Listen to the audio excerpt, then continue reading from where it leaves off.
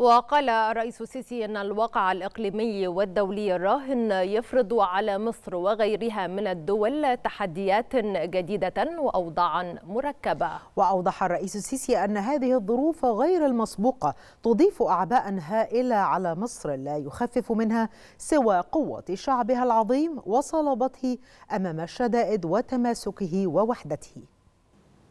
إن الواقع الإقليمي والدولي الراهن يفرض على مصر وغيرها من الدول تحديات جديدة واوضاعا مركبة.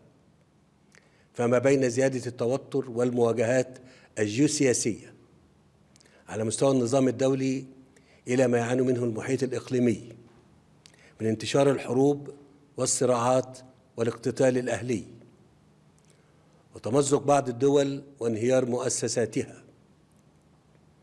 والأوضاع الإنسانية الكارثية وانتشار المجاعات والنزوح بالملايين. تضيف هذه الظروف غير المسبوقة أعباء هائلة على مصر. لا يخفف منها سوى ما أعلمه يقينا من قوة شعبنا العظيم وصلابته أمام الشدائد وتماسكه ووحدته كالبنيان. يشد بعضه بعضا.